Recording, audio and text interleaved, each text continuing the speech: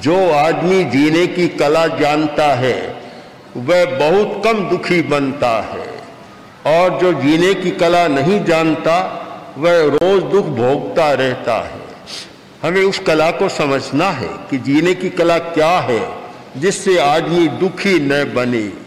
कि वे लोग बहुत दुख पाते हैं जो कामनाओं और पदार्थों में आसक्त हो जाते यानी आसक्ति दुख पैदा करने वाला एक कारखाना है, जहाँ दुख पैदा होते रहते हैं।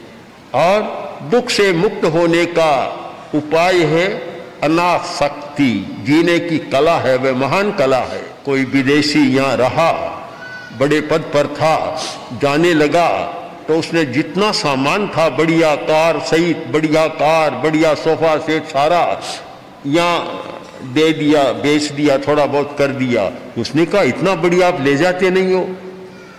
कहाँ ले जाएँ? आखिर जगह कहाँ है? हमें ज़रूरत नहीं है। जितने दिन काम में लिया, ले लिया। अब जब जा रहे हैं तो छोड़ देंगे, हमें कोई इसका मोह नहीं है। ये अनासक्ति की भावना पैदा हो जाए कि काम लो, बंधो मत उससे। बंधने से दुख पैदा होता है और काम लेने से कोई दुख पैदा नहीं होता। काम लिया छोड़ दिया। आदमी आसक्त नहीं होगा, बंधन नहीं होगा, दुख नहीं होगा। और जब आसक्त इतने हो गए कि उसके बिना तो रहा नहीं जा सकता। वह चीज़ खाए बिना मैं रह नहीं सकता। वैसा कपड़ा पहने बिना मैं रह नहीं सकता। और वैसा काम किए बिना, वैसा भोग किए बिना मैं रह नहीं सकता। नहीं रह सकता। इतनी गहरी आसक्ति जब पैदा हो जाती है, तब समस्या पैदा होती है।